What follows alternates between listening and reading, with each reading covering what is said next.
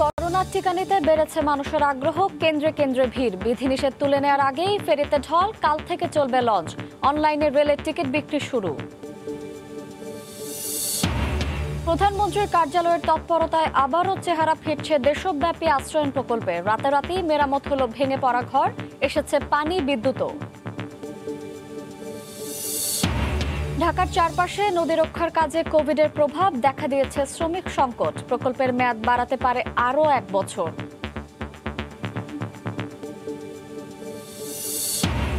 করোনায় প্রায় জনশূন্য বেনাপোল স্থলবন্দর। এক বছরে আয় কমেছে বিয়াল্লিশ কোটি টাকা। ভ্রমণ নিষেধাজ্ঞায় ব্যবসা ও চিকিৎসা নিয়ে নানা সংকট। এবং কোরবানির ঈদে কক্সবাজারের উখিয়ার ফার্মে চমক প্রথমবারের মতো হাতে তোলা হবে আমেরিকান ব্রাহ্মা। ভালো দামের আশা।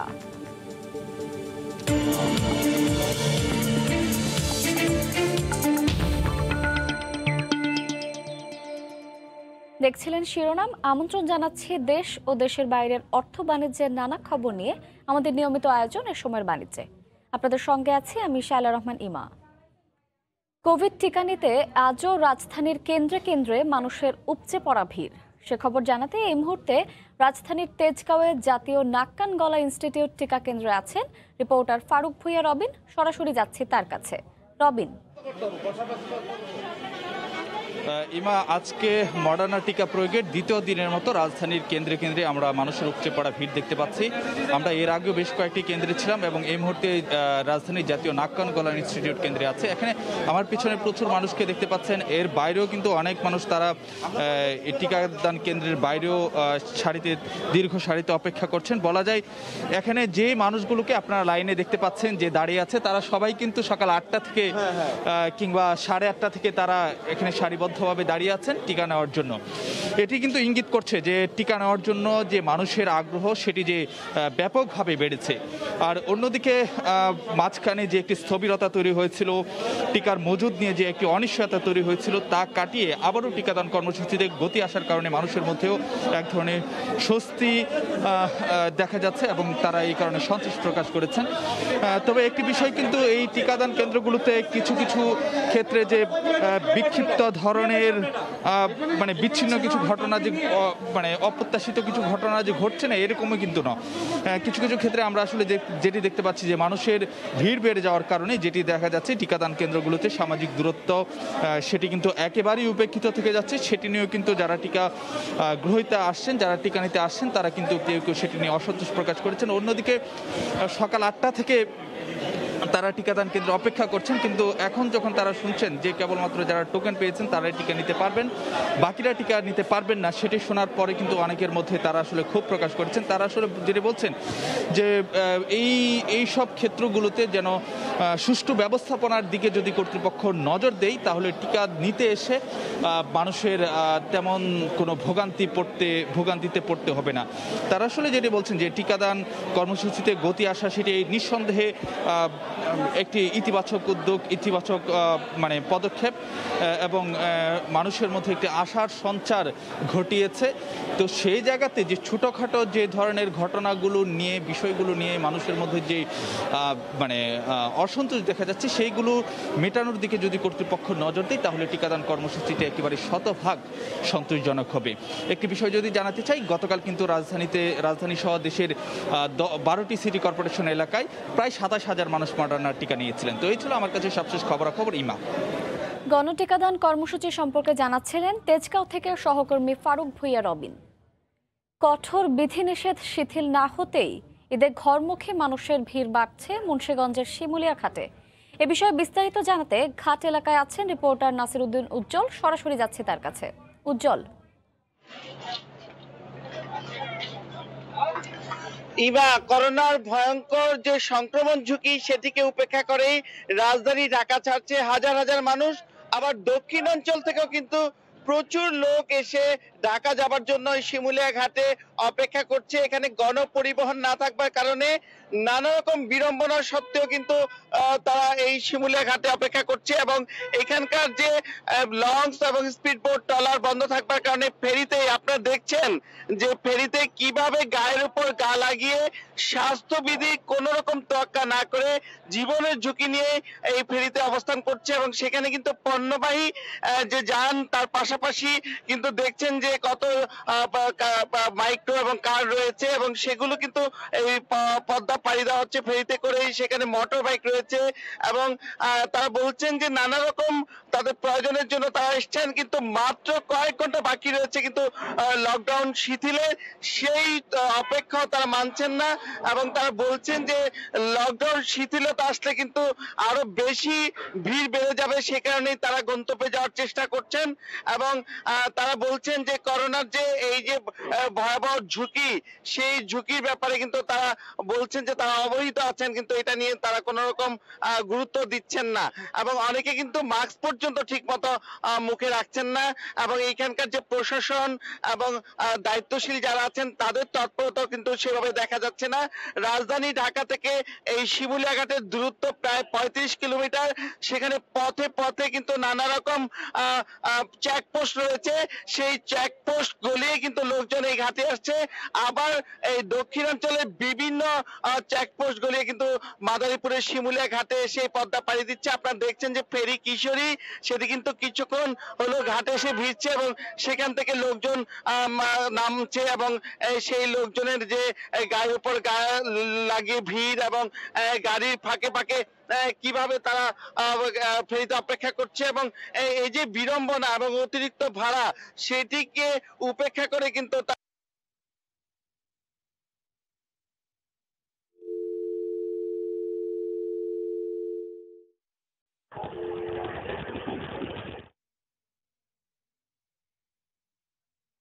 ঈদে ঘরমুখ মানুষের ঈদযাত্রার খবর জানাচ্ছিলেন সহকর্মী নাসিরুদ্দিন উজ্জ্বল। বিধিনিষেধ আট দিনের জন্য শিথিল করায় বৃহস্পতিবার থেকে যাত্রীবাহী লঞ্চ চলাচলের জন্য প্রস্তুতি নিচ্ছে মালিকপক্ষ। একদিকে লঞ্চ ধোয়া মোছা, অন্যদিকে চলছে কেবিনের আগাম টিকিট বুকিংয়ের কাজ। লঞ্চ কর্তৃপক্ষ বলছে, সংক্রমণ রোধে সরকারি নির্দেশনা মানা হবে যথাযথভাবে। না মানলে আইনি ব্যবস্থা নেওয়ার হুঁশিয়ারি বিআরডব্লিউটি এর আমিনুল ইসলামের তোলা ছবিতে আরও জানাচ্ছেন ফিরদাউস সোহাগ। বৃহস্পতিবার সন্ধ্যা থেকে যাত্রী পরিবহনের জন্য প্রস্তুতি নিয়ে ফেলেছে লঞ্চ কর্তৃপক্ষ। দীর্ঘদিন বন্ধের কারণে জমে থাকা ময়লা আবর্জনা ধুয়ে মুছে পরিষ্কার করা হয়েছে। লঞ্চের কেবিনের চাদর এবং পর্দা পর্যন্ত বাদ যায়নি। একই সাথে কেবিনের অগ্রিম টিকিট বিক্রির কার্যক্রমও চলছে। থেকে রক্ষায় সবাইকে সচেতন হতে হবে বলে মনে করেন যাত্রীরা। আমার মেয়ে আসবে ওই জন্য টিকিট নেওয়ার জন্য আসছি এবং টিকিট পাওয়া গেছে। সরকার এবার এই সিদ্ধান্তটা নিয়েছে। এই সিদ্ধান্তটাকে আমরা খুবই সাধুবাদ জানাই। স্বাস্থ্যবিধি মানাটা এখন আমাদের জন্য খুবই জরুরি। এটা সরকারের শুধু একলা দায়িত্ব না আমাদের সবারই দায়িত্ব। লঞ্চ মালিকরাও সরকারি বিধিনিষেধ মেনেই লঞ্চ পরিচালনা করার কথা জানান। আমাদের লঞ্চে এখন জীবাণুনাশক ব্যবহার করে সমস্ত কিছু পরিষ্কার পরিচ্ছন্ন করা হচ্ছে। সাথে সাথে আমাদের মানে মোবাইল এবং অনলাইনে টিকিট দেওয়ার প্রস্তুতি চলছে। চেষ্টা করব সরকারের আইন অনুযায়ী জনসাধারণকে বা উদ্ভূত করা। আর বিআইডব্লিউটিএ কর্তৃপক্ষ বলছে স্বাস্থ্যবিধি না মানলেই ব্যবস্থা নেওয়া হবে। সরকার ইতিপূর্বে যে সমস্ত সিদ্ধান্ত দিয়েছে সেই সিদ্ধান্তগুলি যাতে সঠিকভাবে মানা হয় সেই বিষয়টা আমরা নিশ্চিত করব বিএডব্লিউর তরফ থেকে। এ দফায় বাইশ দিন বন্ধ ছিল লঞ্চ। ঢাকা বরিশাল নৌপথে বিলাসবহুল বাইশটি বৃহৎ লঞ্চ চলাচল করে। ফিরদাউস সোহাগ, সুম সংবাদ, বরিশাল। এদিকে আজ রাত বারোটা থেকে ঢাকা থেকে ছাড়বে দূরপাল্লার বাস। বিস্তারিত জানাতে এই মুহূর্তে মহাখালী বাস স্ট্যান্ডে আছেন রিপোর্টার হরিপদ সাহা। সরাসরি যাচ্ছে তার কাছে। এবং আপনি জানেন যে গত মাসের বাইশ তারিখে থেকে কিন্তু এই ঢাকা থেকে দূরপাল্লার বাস চলাচল বন্ধ হয়ে যায়। কারণ সরকারি কঠোর বিধিনিষেধ কিন্তু শুরু হয় ঢাকার আশেপাশের যে কয়েকটি জেলা ছিল। নারায়ণগঞ্জ, গাজীপুর সহ সাতটি জেলায় কিন্তু কঠোর বিধিনিষেধ শুরু হয় গত মাসের বাইশ তারিখ থেকেই। এবং তখন থেকেই কিন্তু বাস চলাচল বন্ধ হয় ঢাকা থেকে দূরপাল্লার বাসগুলো। ঠিক তারপরে প্রায় বিশ দিন পরে কিন্তু বাস চলাচল বিশ বাইশ দিন পরে বাস চলাচল শুরুর একটি নির্দেশনা বা সুযোগ সরকার দিয়েছে। আগামীকাল পনেরোই জুন থেকে কিন্তু পুরোদমে বাস চলবে এবং আমি এখন মহাখালী বাস টার্মিনালে রয়েছি। এখানকার যারা শ্রমিক রয়েছেন, তারা যেটা বলছেন যে, যদি যাত্রী হয়, আজকে রাত বারোটার পরেও দুই একটি বাস ছেড়ে যেতে পারে। সেরকম তথ্যই তারা বলছেন। এখন যেটা চলছে যে, যেহেতু দীর্ঘদিন প্রায় তিন সপ্তাহের মতো কিন্তু বাস বন্ধ ছিল এ কারণেই তারা এখন বাসের ইঞ্জিন স্টার্ট করে তারপরে ধোয়া মোছা করে চাকা সারাই টারাই করে, এইভাবে তারা দেখছেন যে বাসের আসলে কতটুকু ফিটনেস আছে এবং সেই অনুযায়ী যেহেতু দূরপাল্লার এই বাসগুলো চলবে ঈদযাত্রী পরিবহনে সেহেতু যাতে যাত্রীদের বিঘ্ন না ঘটে পথে যাতে কোনো রকমের যে ইঞ্জিন বিকল হয়ে পড়া থেকে শুরু করে কোনো রকম বিঘ্ন না ঘটে সেইগুলো নিশ্চিত করার জন্যই কিন্তু এখন তারা বাসগুলো পরীক্ষা নিরীক্ষা করছেন ধোয়া মোছা করছেন এবং শ্রমিকরাও কিছু কিছু আমরা দেখতে পাচ্ছি যে, দীর্ঘ সময়ে কিন্তু এখানে Uh, শ্রমিকদের অনুপস্থিতি ছিল। দেখা যাচ্ছিল যে আট, দশটি বাসের জন্য একজন শ্রমিক হয়তো ছিল তারা রক্ষণাবেক্ষণ থেকে শুরু করে এই কাজগুলো করত। এখন যেহেতু আজকে রাত বারোটার পর থেকে বাস চলাচলের একটি সুযোগ তৈরি হয়েছে এবং কালকে সকাল থেকে পুরোদমে বাস চলবে সেক্ষেত্রে কিন্তু শ্রমিকরাও আস্তে আস্তে আসা শুরু করেছেন এই টার্মিনালগুলোতে এবং তারা ঠিক কথাবার্তা বলছেন, কাজকর্মে কীভাবে যোগ দেবেন সেই বিষয়ে প্রস্তুতি চলছে। যেটা বলছে যে সরকারের নির্দেশনা হচ্ছে অর্ধেক যাত্রী কিন্তু নিয়ে যেতে হবে। প্রতিটি বাসের যে যাত্রী বহন সক্ষমতা রয়েছে, তার অর্ধেক যাত্রী পরিবহন করতে হবে। করোনাকালে স্বাস্থ্যবিধি মেনে প্রত্যেকেই মাস্ক পরিধান করতে হবে এবং স্যানিটাইজারের ব্যবহার সহ স্বাস্থ্যবিধির যে প্রোটোকল রয়েছে, সেগুলো মেনে চলতে নির্দেশ দেওয়া হয়েছে সরকারের পক্ষ থেকে এবং এখানকার যেসব শ্রমিক নেতা রয়েছেন, তারা যেটা বলছেন যে, সরকারের নির্দেশনা অনুযায়ী তারা সেই দূরপাল্লার বাস ঈদ উপলক্ষে ছাড়বেন। তো এমা, এই ছিল বাসের প্রস্তুতির সবশেষ খবরাখবর মহাকালী বাস টার্মিনাল থেকে। আজ মধ্যরাত থেকে চালু হচ্ছে দূরপাল্লার বাস। সে খবর জানাতে মহাখালী থেকে আমাদের সঙ্গে এতক্ষণ যুক্ত ছিলেন সহকর্মী হরিপদ সাহা। মুন্সীগঞ্জের রায়পুরায় বৃষ্টিতে ভেঙে পড়া প্রধানমন্ত্রীর উপহারের ঘরের চেহারাই পাল্টে গেছে রাতারাতি। শুধু মেরামতি নয়, নদীর তীরও ব্লক দিয়ে বাধাই করে ফেলা হয়েছে। কয়েক ঘণ্টা এসে গেছে পানি ও বিদ্যুৎ। সৌরভ ছড়াচ্ছে গাছ, এতে উপকারভোগীরা দারুণ খুশি। আবু সাইদের ক্যামেরায় মুন্সীগঞ্জের আশ্রয়ন প্রকল্পের সে গল্প জানাচ্ছেন নাসির উদ্দিন উজ্জ্বল। মুন্সীগঞ্জের গজাইরা উপজেলার বড় রায়পাড়া আশ্রয়ন কেন্দ্র। মেঘনা তীরঘেঁষা আশ্রয়ণ কেন্দ্রটি নান্দনিক রূপান্তরের আগের গত পাঁচ জুলাইয়ের দৃশ্য, যা সামাজিক যোগাযোগ মাধ্যমে ভাইরাল হলেই দ্রুত দৃশ্যপট পাল্টে যায়। যা ছিল একেবারেই তলানিতে, এখন তা সৌন্দর্যের শীর্ষে। কয়েক ঘণ্টার মধ্যে বিদ্যুৎ সংযোগ, গভীর নলকূপ, রাস্তা, মাঠ সহ স্বপ্নের বাড়িতে সবই পেয়ে গেছেন এখন। কংক্রিটের ঢালাই দিয়ে শুধু মেরামতি নয় পুরো কম্পাউন্ড সুরক্ষা করা হয়েছে।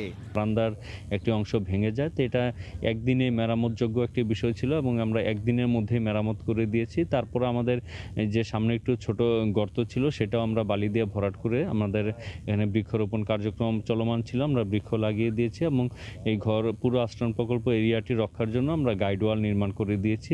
আর বৃষ্টিতে বারান্দা ধসে যাওয়ার ঘটনায় এভাবে সবকিছু বদলে যাওয়ায় রীতিমতো বিস্মিত উপকারভোগীরা। প্রাকৃতিক দুর্যোগের কারণে এটা হয়েছে এটা আমরা রাতারাতি সমাধান করে দিয়েছি। বৃষ্টির পানিতে বারিন্দাটা ভেঙে দেওয়ার পরে আবার দিনের চায়ের মতন আমরা কারেন্ট বিদ্যুৎ পানি সব কিছুই পাইছি। এখানে যে টিউবওয়েল গাইরা দিয়েছেন রাতারাতি বিদ্যুৎ ঘরে ঘরে পচাই দিয়েছেন গাছ গড়া লাগাইছে আম গাছ লাগাইছে ওই নারকেল গাছ লাগাইছে। মুজিববর্ষে জেলায় দুই ধাপে আটশো তেত্রিশটি পরিবারের জন্য ঘর বরাদ্দ করা হয়েছে। সত্তর শতাংশ জমির উপর প্রায় আটচল্লিশ লাখ টাকা ব্যয়ে আঠাশটি পরিবারের স্থায়ী ঠিকানা করে দেওয়া হয়েছে এই আশ্রয়ণ কেন্দ্রে। মুন্সীগঞ্জের বড় রায়পাড়া থেকে নাসিরুদ্দিন উজ্জ্বল, সময় সংবাদ। করোনা আর লকডাউনের নেতিবাচক প্রভাব পড়তে শুরু করেছে ঢাকার চারপাশে নদীতীর রক্ষার কাজেও। শ্রমিক সংকটের পাশাপাশি বেড়ে গেছে নির্মাণ সামগ্রীর দামও। বিএডব্লিউটিও বলছে এখন পর্যন্ত যে কাজের টেন্ডার শেষ হয়েছে, তা নির্দিষ্ট সময়ে শেষ হবে। তবে বাকি কাজের জন্য আরও এক বছর বাড়ানোর কথা বলছেন তারা। মাহমুদ রাকিবের রিপোর্ট। দ্বিতীয় দফার করোনায় বিপর্যস্ত পুরো দেশ। বিপর্যস্ত জীবনযাত্রাও জলে স্থলে সবখানে জীবাণুর ঢেউ। এতে চলমান অন্য উন্নয়ন প্রকল্পের মতো প্রভাব পড়েছে ঢাকার চারপাশের নদী রক্ষার আগামী বছরের জুনে শেষ হওয়ার কথা চলমান কাজ। তবে করোনার প্রভাবে কিছুটা ধীরগতি সে কাজে। সংশ্লিষ্টরা জানান, লকডাউনের কারণে শ্রমিক সংকট ও নির্মাণ সামগ্রীর দাম বেড়ে যাওয়ায় এ বিপত্তি। প্রকল্পের মেয়াদ আরও এক বছর বাড়ানো উচিত বলে মনে করেন প্রকল্প সংশ্লিষ্টরা। লকডাউনের কারণে জনবল পাওয়াটা কষ্টকর হয়ে যাচ্ছে। রড পাথর, বালু, সিমেন্ট সব কিছুরই দাম বেড়ে গেছে। সেক্ষেত্রে কাজটা মানে তাদের জন্য মানে কি যে চ্যালেঞ্জ হয়ে গেছে। সেই জন্য আমরা এক বছর সময়সীমা বৃদ্ধির প্রস্তাব করেছি। আমরা চেষ্টা করছি যাতে শ্রমিকদেরকে প্রকল্প এলাকায় রেখে, ইঞ্জিনিয়ারদেরকে সেখানে রেখে আমরা কাজটা যাতে সঠিক সময়ে সম্পন্ন করতে পারি। প্রকল্পটা বাস্তবায়ন করতে গিয়ে বেশ কিছু আমাদের নতুন নতুন আইটেম সংযোজন করতে হয়েছে। কারণ এখানে মানুষের আশা আকাঙ্ক্ষা অনেক বেড়ে গেছে। নৌ প্রতিমন্ত্রী জানান কাজ নিরবচ্ছিন্ন রাখতে প্রকল্প সংশ্লিষ্ট সকলকে দ্রুত অগ্রাধিকার দিয়ে করোনা টিকা দেওয়ার উদ্যোগ নেওয়া হয়েছে। মুখ্য সচিবের সঙ্গে আমরা মৌখিকভাবে কথা বলেছি। তিনি আমাদের আশ্বস্ত করেছেন নৌ শ্রমিকদের জন্য এবং নৌ সেক্টরে যারা কাজ করতে তাদের ভ্যাকসিন এখন যে নতুনভাবে আসলো নৌ খাতে যেন এটা ফার্স্ট প্রায়োরিটি পায়। যদি ভ্যাকসিন হয়ে যায় আমাদের এই খাতের যারা কাজ করছে লোকজন তাহলে হয়তো আমাদের গতি সঞ্চারিত হবে। ঢাকার চারপাশের তীররক্ষারে কাজে ইতিমধ্যেই ঢাকায় নব্বই এবং নারায়ণগঞ্জ ও টঙ্গী অংশে পঞ্চাশ শতাংশ করে স্থায়ী সীমানা পিলারের কাজ শেষ হয়েছে আর সার্বিক অগ্রগতি হয়েছে পঁয়ত্রিশ শতাংশ। মাহমুদ রাকিব সময় সংবাদ ঢাকা। কোরবানি ঈদের জন্য বড় আকারের দেশি বিদেশি গরু মহিষ এনে চমক সৃষ্টি করেছেন কক্সবাজারের উখিয়ার চৌধুরী অ্যাগ্রো ফার্ম। প্রথমবারের মতো কোরবানির হাটে তোলা হবে দেশীয় গরুর পাশাপাশি আমেরিকান ব্রাহ্মা, থাইল্যান্ডের লাল ও হলুদ হাসা, মিয়ানমারের সাদা হাসা, উলবাড়ি, ভারতের আসামের কালো ও থাইল্যান্ডের সাদা মহিষ। আর করোনার কারণে এবার সীমান্ত বন্ধ থাকায় এদের ভালো লাভের আশা খামার মালিকের, আরও জানাচ্ছেন সুজাউদ্দিন রুবেল। বিশাল আকৃতির ষাঁড় ওজন বিশ মনের বেশি। দাম হাঁকা হচ্ছে বিশ লাখ টাকা। এটি দেশি নয়, আমেরিকান ব্রাহ্মা জাতের গরু। এবারের কোরবানির হাটে দেশি বিদেশি সারের পাশাপাশি মহেশও তোলা হবে। সারগুলোর ওজন দশ থেকে বিশ মনের মধ্যে। বিক্রির টার্গেট দু কোটি টাকার উপরে। আটজন শ্রমিক সকাল থেকে রাত অবধি তাদের বিরামহীনভাবে পরিচর্যা করছে। প্রতিদিনই গরু ও মহিষকে তরতাজা করার জন্য কয়েক বেলা খাওয়ায় প্রাকৃতিক ঘাস, খড় ও ভুসি। এজন্য প্রতি মাসে খরচ হয় এক থেকে দেড় লাখ টাকা। আমরা সকালে ঘুম থেকে উঠে কাঁচা ঘাস খাওয়াই, এরপর দুপুরে গিয়ে দানাদার খাবার খাওয়াই, বিকেলে গিয়ে কাঁচা ঘাস কর দিই, এরপর রাতের বেলায় গিয়ে আবার দানাদার খাবার খাওয়াই। আমরা পাঁচজন সহকারী এখানে। ওদেরকে প্রতিদিন খাওয়া দিয়ে আর তিন টাইম গোসল করাই ইতিমধ্যে অনেকেই কিনতে ছুটে আসছেন উখিয়ার চৌধুরী এগ্রো ফার্মে। সামনে যেহেতু কুরবান আমি ঘুরে ঘুরে দেখতেছি। বিভিন্ন রকমের গরু আছে এখানে। একটি প্রথমে দেখতে পেলাম আমেরিকান জাতের ব্রাহ্মা গরু। প্রথমবারের মতো কক্সবাজারের কোরবানির হাটে এসব গরু মহিষ তোলা হবে যা পুরো জেলায় চমক সৃষ্টি করবে বলে দাবি খামার মালিকে কক্সবাজারের ইতিহাসে কিন্তু এটা প্রথমবারের মতো ব্রাহ্মাগুড় এবার আমি কোরবানের বাজারের মধ্যে তুলবো। সো এটি কক্সবাজারের জন্য এটি সবচেয়ে বড় চমক। বর্তমানে দেশীয় আটটি ও বিদেশি বারোটি ষাঁড় এবং ছয়টি মহিষ রয়েছে। সুজাউদ্দিন রুবেল, সময় সংবাদ, কক্সবাজার। আর কদিন বাদেই রাজশাহীর সিটি হাটে কোরবানির পশু বেচাকেনা শুরু হবে। ক্রেতা বিক্রেতার সমাগমে মুখর হয়ে উঠবে হাট। তবে করোনার প্রকোপ বাড়ায় স্বাস্থ্যবিধি মেনে পশুর হাট পরিচালনার নির্দেশ দিয়েছেন জেলা প্রশাসক। এই মুহূর্তে সিটি হাটে আছেন সহকর্মী সাইফুর রহমান রকি। সরাসরি যাচ্ছে তার কাছে। রকি। রাজশাহীর সিটি হাটে উঠতে শুরু করেছে কোরবানির পশু। এর মধ্যে কিন্তু সকাল এগারোটার পর থেকেই অনেক কোরবানির পশু হাটে আসছে এবং আপনারা দেখতেই পাচ্ছেন, এইভাবে কিন্তু প্রচুর পরিমাণ গরু নিয়ে আসা হচ্ছে এবং গরুর দাম কিন্তু এখন প্রচুর হাঁকা হচ্ছে। তবে হাটে এখন একেবারে ক্রেতা সমাগম কম বললেই চলে। বিক্রেতারা বলছেন আসলে গবাদি পশুর যে খাবারের দাম, সেটি আসলে অনেকাংশেই বেড়ে যাওয়ায় তারা গরুর দাম কিছুটা বেশি বলছেন। তবে দামাদামি করার সুযোগ আছে, এমনটা আসলে তাদের পক্ষ থেকে বলা হচ্ছে।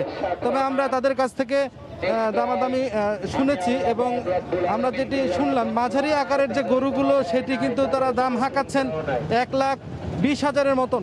এবং ছোট আকারের গরুও কিন্তু তারা আশি হাজারের কাছাকাছি দাম হাঁকাচ্ছেন। সব মিলিয়ে কিন্তু এবার কোরবানির পশুর দাম অনেকটাই হাটে বেশি। তবে এখনও যেহেতু সময় রয়েছে, সেক্ষেত্রে দাম আরও কমতে পারে বলেও ধারণা করা হচ্ছে। এদিকে আমরা হাটের যে প্রবেশ পথে, ঠিক যে পরিমাণ হাটে স্বাস্থ্যবিধি মেনে চলার কথা, ওই পরিমাণ স্বাস্থ্যবিধি আসলে হাটে মেনে চলতে দেখছি না। তবে হাট ইজারাদাররা বলছেন যে আসলে তাদের পক্ষ থেকে সব ধরনের যে ব্যবস্থা স্বাস্থ্যবিধি মেনে চলার, সেগুলো কিন্তু নেওয়া হয়েছে। পাশাপাশি তারা মাইকিং করছেন যাতে সকলেই স্বাস্থ্যবিধি মেনে চলে।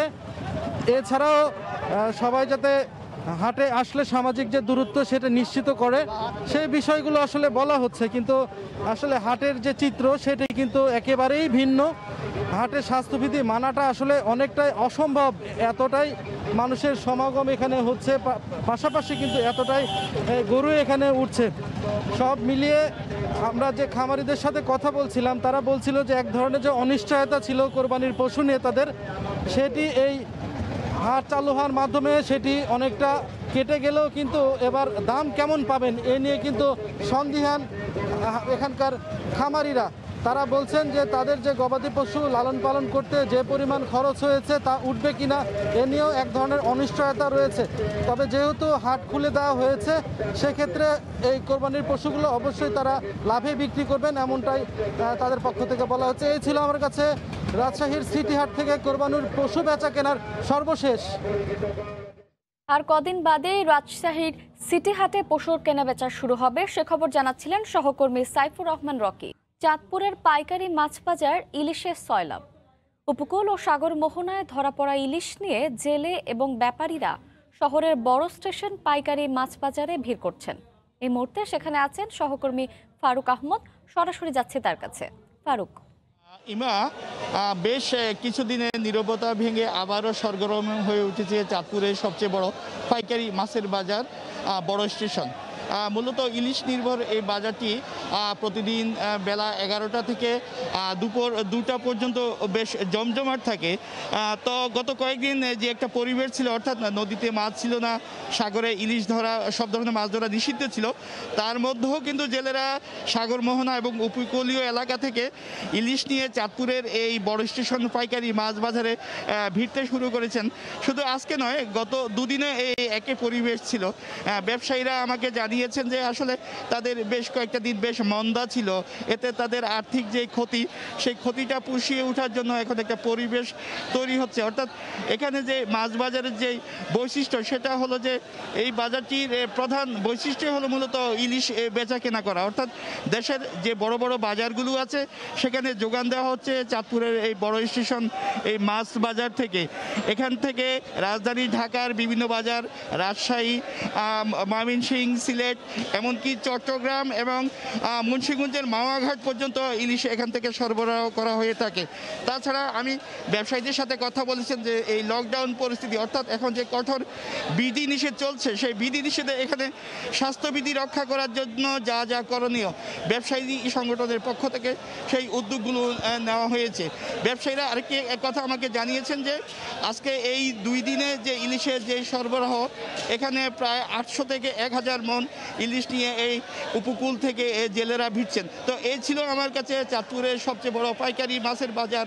চাঁদপুর বড় স্টেশনে ইলিশ সরবরাহ নিয়ে সবশেষ তথ্য। ইমা চাঁদপুরের পাইকারি মাছ বাজারে ইলিশ সরবরাহের সবশেষ খবর জানাচ্ছিলেন সহকর্মী ফারুক আহমদ। বিশ্বখ্যাত গ্লোবাল ইকোনমিক্সের পুরস্কার পেল নগদ। ডাক বিভাগের মোবাইল ফিনান্সিয়াল সার্ভিস নগদ আরও একটি সম্মানজনক বৈশ্বিক স্বীকৃতি পেল। গত সপ্তাহে নগদকে সম্মাননা দেওয়ার ঘোষণা দেয় যুক্তরাজ্য ভিত্তিক আর্থিক প্রকাশনা ও দ্বিবার্ষিক business magazine the global economics limited. দু হাজার একুশ সালের সেরা উদ্ভাবনী ডিজিটাল ফিনান্সিয়াল সার্ভিস হিসেবে নগদকে পুরস্কৃত করা হলো। প্রতিষ্ঠানটি বৈশ্বিক আর্থিক খাতের বিভিন্ন শিল্পের উপর গুরুত্বপূর্ণ চিন্তাশীল মতামত দেয়। বেনাপোল স্থলবন্দরের ইমিগ্রেশন ভবন এখন জনশূন্য প্রায়। পাসপোর্টধারী যাত্রীর সংখ্যা কমায়, কমেছে বন্দরের রাজস্ব আয়। করোনার এক বছরে আয় কমেছে প্রায় বিয়াল্লিশ কোটি টাকা।